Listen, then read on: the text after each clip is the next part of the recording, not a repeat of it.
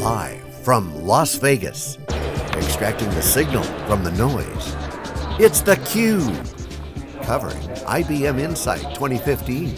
Brought to you by IBM.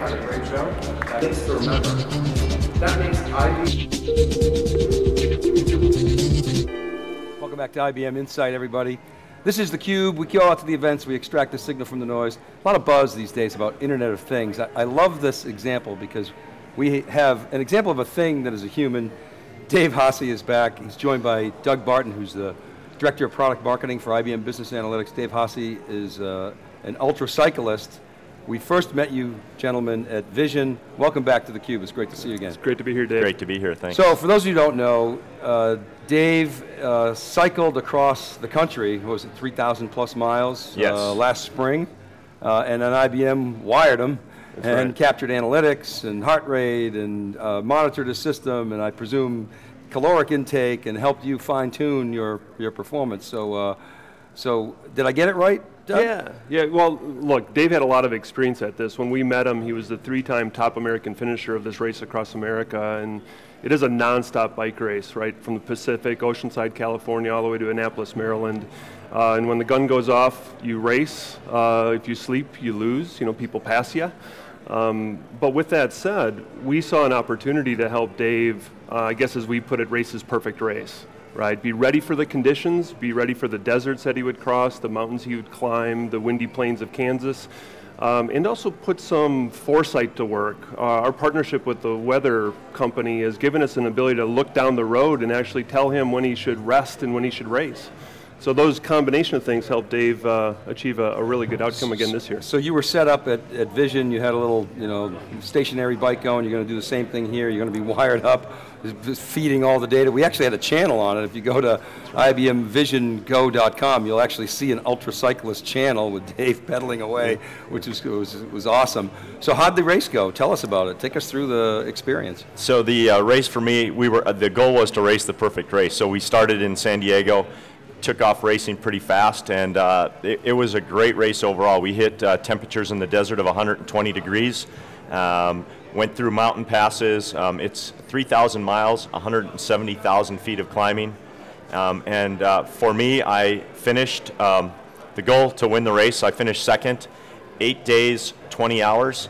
Um, my previous fastest time was nine days and 21 hours. So we were a full day faster than I had been the previous race, which was in 2008. So, you know, seven years later, I'm racing a full day faster with uh, the ability to monitor myself and keep myself safe and put out an effort that was very controlled and consistent the whole race. So I, honestly, the race was um, as as hard as it was. It was somewhat easy because we were so maintaining uh, our, the heat um, and keeping my core body temperature where it needed to be, and just watching all of the other uh, factors in the race. That's phenomenal. So you came in second. Congratulations. Um, I mean, maybe it didn't meet your goal, but that's incredible. Yeah, we, we wanted first, right? That was Um, first, but But the one, one interesting fact that I, I think we ought to share is how that is really a spectacular uh, outcome just to stay in the race. Half the racers that started this race would DNF, did not did not finish this race.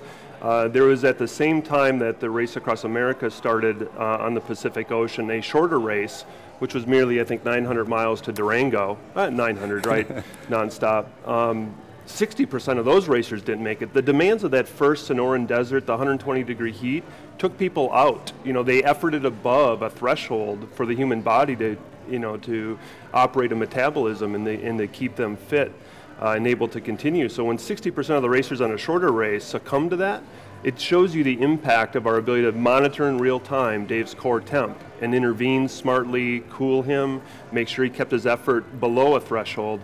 You got to be in the race to win it, and we, you know, met that first challenge with yeah, that. stay in it to win it, right? So how many Yeah. people actually enter the race? So there were uh, 41 solo racers that entered, and 18 finished the race.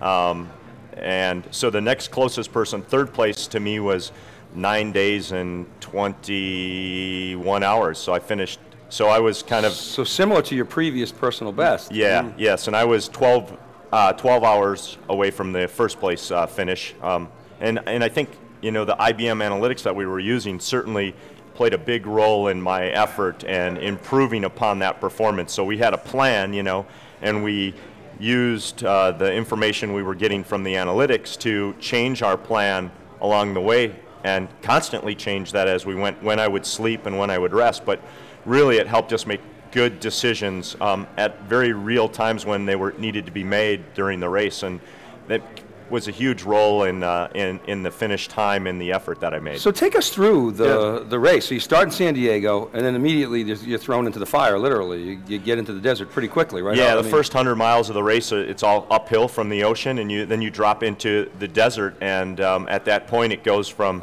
you know, I think we started at about 70 or 80 degrees, and we were at 110 degrees uh, within the first uh, 100 miles of the race, and then from that period of time for the next 300 miles, you're in a that type of temperature, and uh, you know, at night as well, um, but it was still, you know, 100 degrees, and monitoring that core body temperature became really important uh, for me. So the, the crew that I have along, following, watching our dashboard in the car of all that data and all the things we were capturing, um, was able to, you know, tell me maybe when to effort or when not to effort. And the biggest part was uh, keeping my body cool by using ice various ways to take my core temperature down. So when it would hit above 100 degrees, we'd cool down with ice or pour water on my head or to keep that performance at a very consistent level and uh, continue to ride, you know, into Arizona and Monument Valley in Utah was extremely hot during the day. And so it was, we were able to control that the whole time uh, with that Dave, information. Was the feedback, I mean,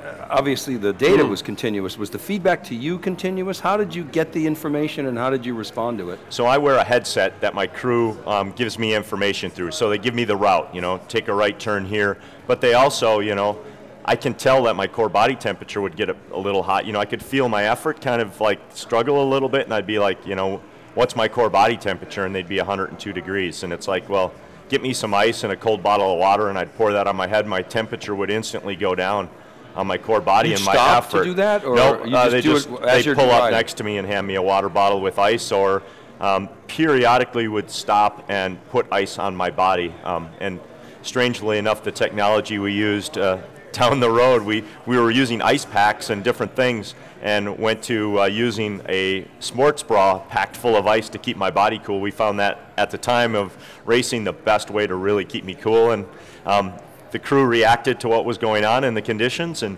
changed what they were doing to improve the performance. So a little ice bucket challenge while you're on, on, it's on about what it was, yes. Okay, so day one, you're in the desert, the first 100 miles right, right away. When do you first stop? How did you decide to, to stop and eat or rest or sleep? Yep, great question. So the food is coming from my crew nonstop. So they're passing me water bottles with nutrition in it. Um, we had uh, set in, in in our mind that we'd ride 30 to 40 hours and the first day and sleep somewhere. So that carries into the second day of the race. Um, and we were approaching um, Flagstaff, um, and the next city was four hours away. And within that um, dashboard window that we had, we had analytics that said it makes the most sense to sleep within this window based on the weather conditions you're going to be facing.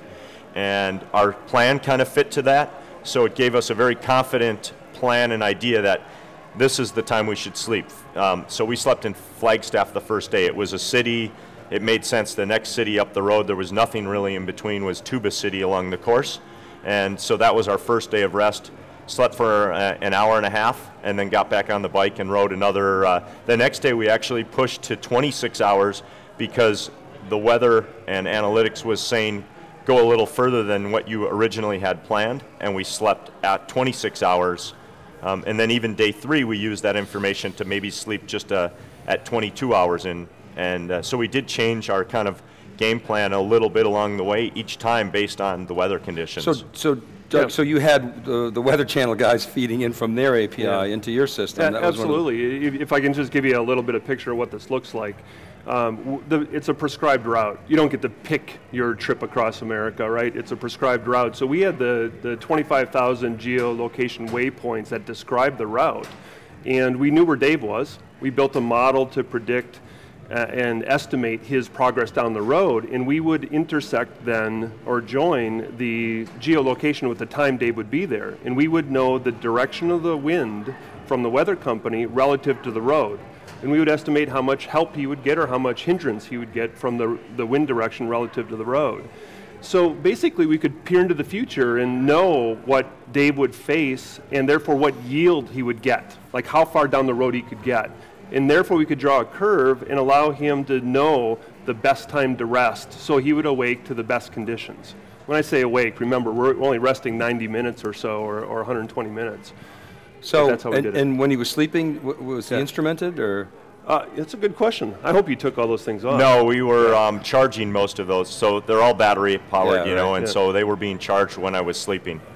Uh, so we would be, you know, and then I'd wake up, we'd quick throw them on and take off again. So, did you have trouble getting to sleep or no problem? You No just- problem. So the the Do you typically have no problem sleeping? or- generally I'm pretty tired when it's time to go to bed. So uh, you know, but uh, so I'd pull into where we were going to sleep, whether it was a motel, the back of our van, or an RV, and go instantly in, take off all my devices. My crew would throw them on chargers. Someone would take my bike, and then would sleep for um, an hour and 30 to 40 minutes. So we were our goal was always to be off the bike no more than two hours. So any time that was spent you know, taking off clothes or devices or whatever, that was part of that two hours. So generally, I would get about an hour and a half of sleep each night. So in the eight days and 20 hours, I had 14 hours of sleep over that time period. And, and is that typical for the, the let's say, what, half that finished? The guys that are going to uh, compete to win that race, they're not sleeping very much at all. My competition, I think, went 42 hours maybe the first day before they took their first rest and gained an advantage there, and we were kind of chasing that advantage the whole time. And, and, and as far as, um, is it always sleeping or do you sometimes just rest for 15, 20 minutes or a half hour? Um, we generally weren't off the bike at all Unless you were sleeping. Unless we were sleeping. That's mistakes I've made in the past. Is you know you get off your bike and then you're there, kind of you know wasting time, so to speak. So it was generally riding the bike, or we were uh, going to the bathroom, or or or sleeping. And you had to be awakened uh, at, at these intervals or did you just kind of wake up Um, with an internal most clock, of the or- time, and uh, strangely enough, I would wake up about two minutes before the alarm was set for me to get off, and I'd wake up and, you know, throw on my clothes, do whatever we were doing, and then get back on the bike and take off again. And ahead. and to and to the advantage to pretty good conditions usually. You know, I wasn't uh, fighting, you know, a headwind or anything like that. It was usually waking up to favorable conditions and moving down the road as fast as I could because it takes a little bit to get your body back moving after you've been, you know, riding and then sleeping and riding again. So, uh, weather predictions sometimes can be unpredictable. Right. Um, how did you find the, the your, your ability to predict the weather? Were you like better than 50% accurate, 100% accurate? Yeah, you know, if, if the if if the um, if the real tail of the tape, if it, as it were, would be our ability to predict where Dave would be, I can say we were spot on. Yeah. The combination of things. Uh, it, I have to I have to tell you, we, we did learn a few things along the journey. wanted to ask Um, one of the things that where we deviated from race plan, and I, I know Dave wasn't keeping secrets. We worked we worked on this hard, but he you know he did have a plan to kind of met out his effort evenly. 220 watts. Watts is the measure of a biker's power. They're putting into the pedals, right? He had a, he had him and his coach had tuned in and dialed in the 220 watt line to stay at threshold, and so we had modeled 220. But we found that our models were a little bit off. We kept checking the error rates, and we were still off by 10% on where we predicted he'd be. So we, we found that we actually had to predict Dave's behavior. As he went up some of the, the steeper slopes, especially as we got into Colorado, he was putting out a lot of watts. And so our models had him too slow on the road. So we inserted predictive analytics to actually calculate and predict what Dave would do when faced with the slope conditions, and our, our estimates got much better. So the combination of predicting his behavior, again, he wasn't keeping secrets from us. I think his plan was to ride evenly, but the conditions, frankly, wouldn't allow him to ride at 220. So we had to kind of predict his behavior. Add weather, weather to that, and we were spot on. I mean, we, we could predict exactly where you'd be on the road. But the conditions Yeah. wouldn't allow you to ride at 220. No. be- But you were riding faster than 220, if I just inferred. Yeah, so at, at certain points in the race, you know, you're putting out more power because you're climbing a hill Right. and, to, and that effort goes higher. And then maybe on the descent, you're coasting, so you're really not putting any power out or, Yeah, yeah, you're, right. or you're pedaling slowly. So, but I think, I, I think what we, you know, we learned is that the effort and my ability to recover Yeah. after s- sleep was maybe better than we were Okay, thinking so, it would so be. So that's the gut feel human factor. How, that's the gut feel. How you felt. Yeah. You said I feel good climbing this. I'm gonna. It's not speed. I said use speed, but it's really output. It's effort, yeah. effort, yeah, right? yeah. Okay. And you said, okay, I feel good. I'm gonna really crank up this hill, exceed maybe 220. Yeah. You know, sort of violate that threshold that Sure. you guys set for yourselves, and then you were able to adjust to that pattern over the So, course so of our the race. models learned. I mean, this, Yeah. this is sort of, uh, in some sense, this is exactly what we describe in cognitive computing, the ability to learn and adapt. And, and so our models actually improved. We had to build a learning system because, I don't know if you remember this, but when you interviewed Dave and Jean-Francois Puget, who is our distinguished engineer on this, he said there was a race to prepare for the race. Well, sure enough, our project had to get done on time. You know, Dave was starting with or without us. Um, so we put in place a model that we thought was a good first approximation, but we knew we could tune it. And by the time we got to Colorado, it's kind of like we know where Dave is. You know, we'll stick out our arm with a water bottle, and there, sure enough, Dave would be there. And how how did how did your competitors react to this? Um, are they do they want to do it? Uh, are they saying oh they're crying foul or what's the So, story? so there, there's two stories to that. Yes, several racers were like, "Well, how do we use this?" Uh, one actual IBM employee was doing the race as well, and she was like, "I'd like to use this, but didn't have any of the equipment we use. She's not into using power or a computer or anything." Um, and then one of the competitors in an interview was making fun of, you know, he said, "Well, I'll just swallow Advil when I'm in pain," and I was swallowing a core temperature pill to maintain my core temperature. He did not finish the race, so you know I think what we used was effective and worked. And um, to be honest, it made the race really. Um, I, hate to use the word simple, but it was ride your bike. We've got all this information. Just keep going at this rate. There was one point in the race where it was like, hey, can you pick up the pace?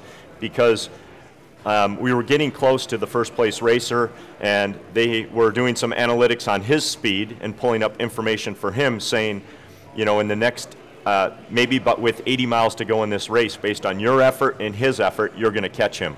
So we need to effort just a little bit more. So that gave me a little bit of confidence in my ability, saying, okay, let's pick up this pace just a little bit.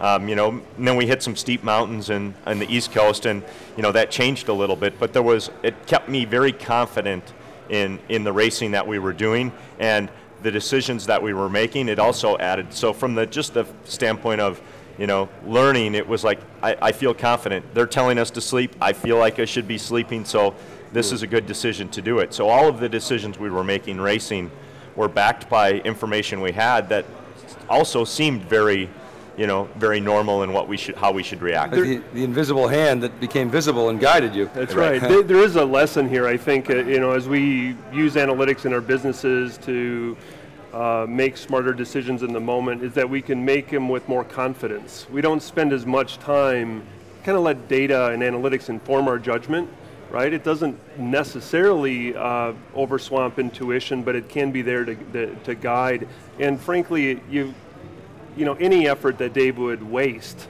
mentally thinking about am I doing the right thing would have been something that would sap his power, right, and take away from his his ability to effort. So, you know, save those calories for something else. So, and did did you take any painkiller?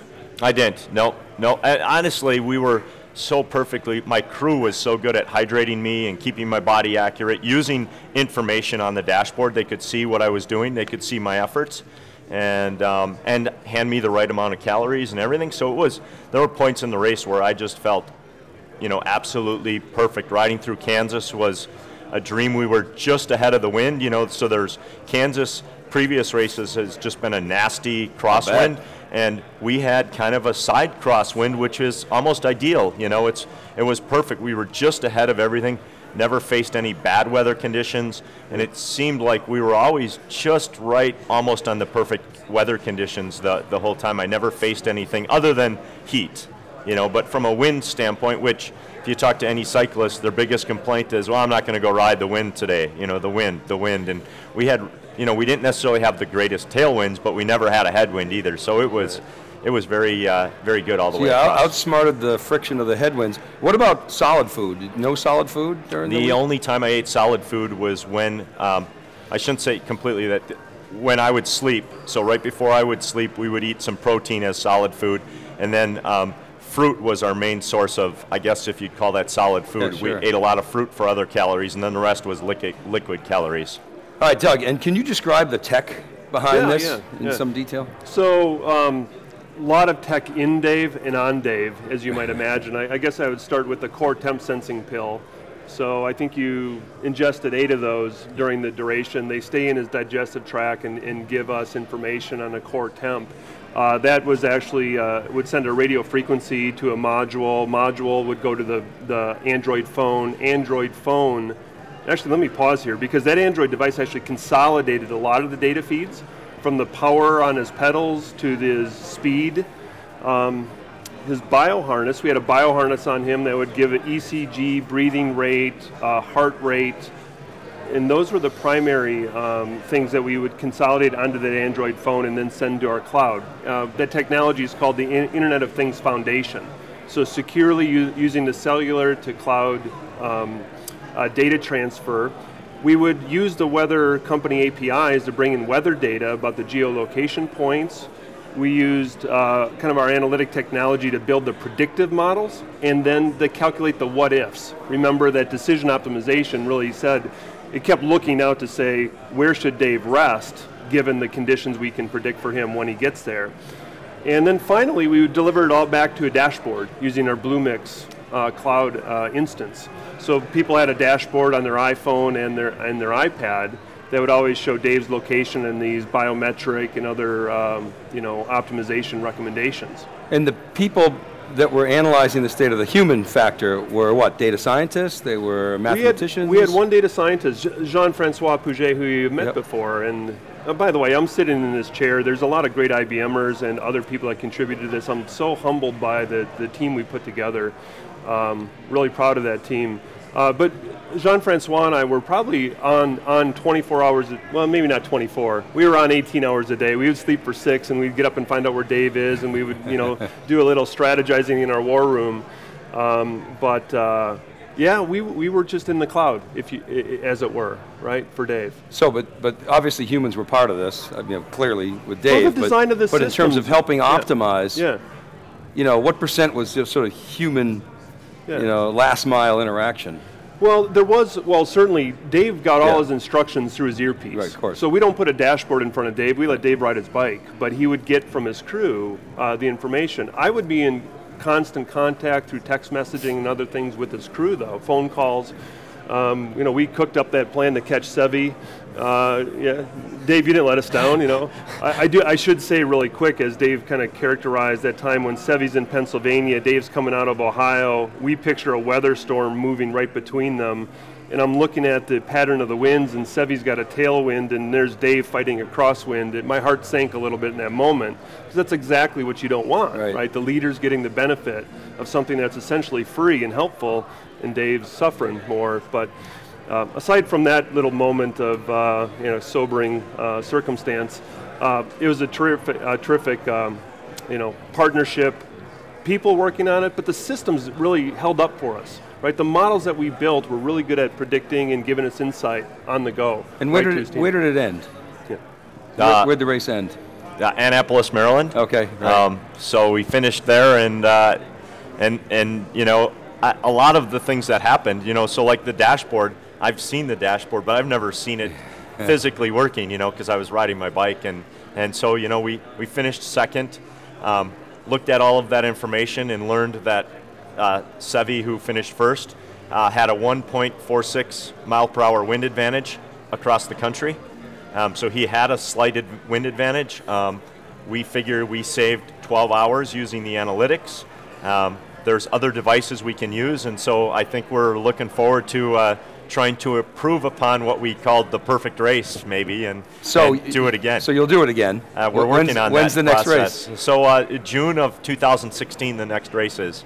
Okay. Um, and so we're, we're working on uh, how to use a few other devices and how to make the system easier for the crew that I have along to use with you know less devices, but get the same information. So if you had to do it again, you wouldn't have slept the first first night. You would have gone the whole 40 hours to get that extra mile and a half. If I could, yeah, I think I think you know that that's a big key. I think is how far you can ride that first day, as long as you can recover uh, the next days. And, and one of the racers, the elite racer who was supposed to win, Couldn't pushed recover. himself, and he ended up dropping out in, uh, I believe, Kansas. So Yeah. Can't, can't win if you don't finish. Right, right. Uh, so Doug, how about you guys? How, what, what, what are you going to do differently? Well, I think there are two things that we think there's another 5 10% yield to get out of these super athletes. Um, one is, uh, and there's been a lot of science put into this in sports science and physiology, so we're really proud to, uh, we'll have an announcement here soon, but there, there's a, a Watson ecosystem partner that's put the power of Watson together with their sports science understanding to assess the trade-off in when how to get athletes ready to perform on race day. Now Dave's got a lot of experience training and getting ready, but the challenge with, with someone like Dave is how much do I train so that I have a, the big engine for race day, but I get it fully recovered and ready to go, so it's like optimally right ready Right. to perform. We have a partner in the Watson ecosystem that has put Coach Watson together. So you've heard of Chef Watson. This is Coach Watson, and we're going to put uh, Coach Watson on Dave's side this year. The second thing we're going to do is another real-time monitoring of what's called um, muscle oxygenation.